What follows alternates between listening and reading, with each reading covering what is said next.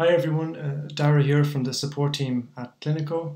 Uh, today I'm sharing an exciting new integration that we've got between Cliniko Online Bookings and Google Tag Manager.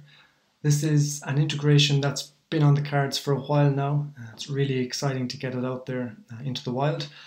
Um, Google Tag Manager, it's a, a, platform that's built by Google that allows you to manage and deploy your, your marketing and tracking tags. If that still doesn't mean too much to you, and if you're interested in learning a little bit more, the Google um, Analytics Academy offers a self paced course that will allow you to get to grips with the fundamentals of, of Google Tag Manager. The course is broken down into four units, and after it, you would have a very good understanding um, of Google Tag Manager.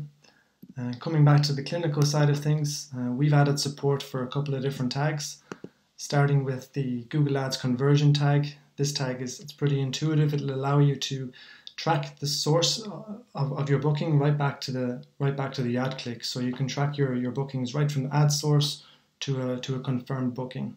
The Google Analytics tag will replace our existing integration with Google Analytics. Um, you can continue tracking your visitors and reporting on your goal conversions. Custom image tag was chosen primarily to connect your account with Facebook uh, using the Facebook Pixel. AdRoll Smart Pixel, this tag was conveniently available so that we could replace our existing integration with, uh, with AdRoll. And we've added support for, for Bing ads. So if you're advertising on the Bing search engine, um, you can also track your ads from there too. Um, as for as for setting up the integration, uh, it's not too tricky. Uh, from from within your Cliniko account, you'd start by heading over to the settings page.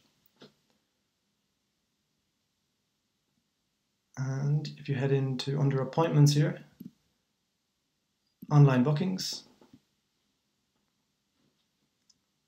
and at the bottom, under integrated marketing and tracking, you'll see a field for your for your Google Tag Manager container ID. And this ID is all that you will need to connect your Cliniko online bookings with, with Google Tag Manager. And I'll show you where you can find that from within your Google Tag Manager account.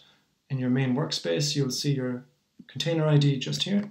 So you can copy that ID, paste it into Cliniko, and now you're connected. And that's it. That's that's all that's uh, involved from the Cliniko end in terms of setting up the integration. Of course, there are, there's more configuration that you will need to do within your um, Google Tag Manager workspace. Um, we have support guides for each of these tags that you see on your screen. Um, hopefully, they will be enough to help you get set up. But if you run into any issues, please reach out to the support team, and one of us will be will be glad to help. So with that, happy tagging.